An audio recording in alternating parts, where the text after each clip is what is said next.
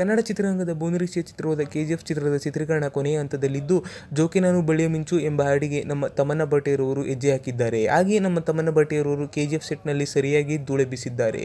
ಇನ್ನು ಕೆಜಿಎಫ್ ಚಿತ್ರದ ಚಿತ್ರೀಕರಣ ಈ ವಾರ ಕೊನೆಗೊಳ್ಳಲಿದ್ದು, ಈ ವರಮಹಾಲಕ್ಷ್ಮಿ ಹಬ್ಬಕ್ಕೆ ನಮ್ಮ ರಕಿಂಗ್ ಸ್ಟಾರ್ ಇಶ್ರವರ ಕಿರಾತಕಟ್ಟು ಸೆಟ್ಟೇರಿದೆ ಎಂದು ಎಲ್ಲ ಮೂಲಗಳು ತಿಳಿಸಿವೆ.